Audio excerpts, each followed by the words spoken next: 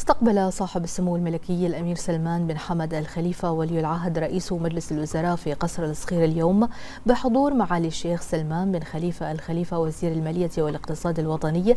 استقبل سعادة السيد محمد بن علي الغتم بمناسبة تعيينه سفيرا لمملكة البحرين لدى دولة قطر الشقيقة. حيث أعرب سموه عن تمنياته له بالتوفيق والسداد في أداء مهامه الدبلوماسية.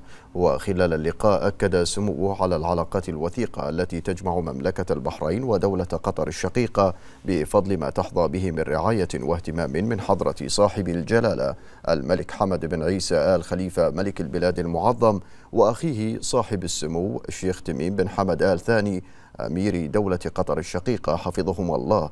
مستعرضا سموه سبل تعزيز مسارات العمل والتنسيق المشترك بين البلدين.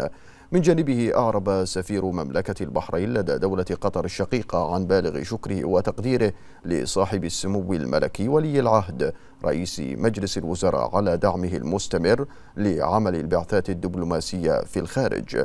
ومنها البعثة الدبلوماسية في دولة قطر بما يسهم في تعزيز العلاقات بين مملكة البحرين ودولة قطر ويحقق الأهداف المرجوة للبلدين والشعبين الشقيقين.